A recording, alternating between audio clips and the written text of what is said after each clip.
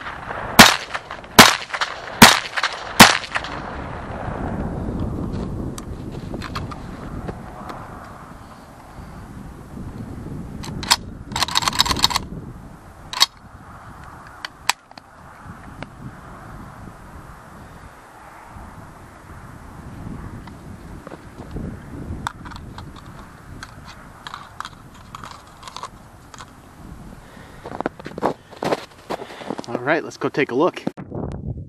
All right, so here's our target. Like you did pretty dang good this year. So let's count them up here. We got one, two, three, four, five, six, seven, eight, nine, 10, 11, 12, 13, 14, 15, 16, 17 hits. I'll double check that at home. And I think we'll be in good shape. You see I got one flyer here and I think one or two came down here. I short, short stroked them. Now comes the fun part. Pack in what you pack out, and pack out what you pack in. Pick up your brass, especially when you're on someone else's property. Okay, don't be a slob. I'll spend an hour out here if I have to. Brass is valuable, so there's your other reason to pick it up.